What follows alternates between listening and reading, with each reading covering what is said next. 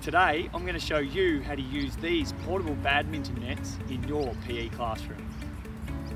The setup for this net is incredibly easy with the internal shock cord guiding you on which pieces to slot into each other and also making it impossible to lose any pieces. Continue to assemble the frame of the net until all pieces are connected and where they should be. Next is to slide the circular foam pieces along the base bar to keep the bar off the ground. Net time, grab the net and ensure that the yellow tape is at the top.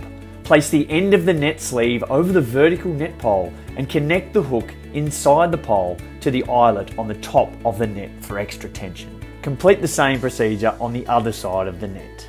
The net's 5.1 metres wide, which allows for maximum participation in badminton and many other sports in PE. Converting the badminton height to tennis is also quick and easy. Simply pull the net down to the bottom and pull out the top pole from the frame and let it hang from the side of the net. Complete this again on the other side and you have yourself a tennis net. Additional courts can be created using barrier tape to increase participation in your physical education classroom. Simply pull the nets apart so that the gap is equal to the width of a net and tie the barrier tape to the top of the net. Then pull the tape across to the other net and repeat the process by tying it off again. Slack in the tape can be fixed by pulling one of the nets further away. And then the court is ready for play. Pack up time, it's time to find the blue bag and do the process in reverse to get the net and the frame back into the bag. Unhook the net and take it off the vertical pole, then repeat the process on the other side. Place the net on the ground away from your feet and then start to pull each connected piece out. Slide the circular foam piece on the base bar closer to the end so that the metal frame pieces can be slotted in easily.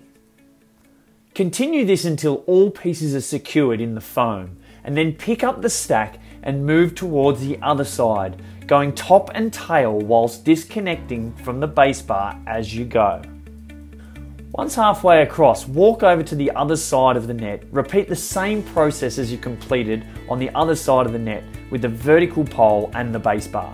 Remembering to slide across the small circular piece so that the metal pieces can slot in nicely so that it's nice and tight in a metal stack so that it can then be slotted into the bag. To finish up the pack up process, simply zip open the bag and place in the neatly stacked metal frame. Fold up the net evenly and then place it in with the frame. Zip up the bag and it's a job well done.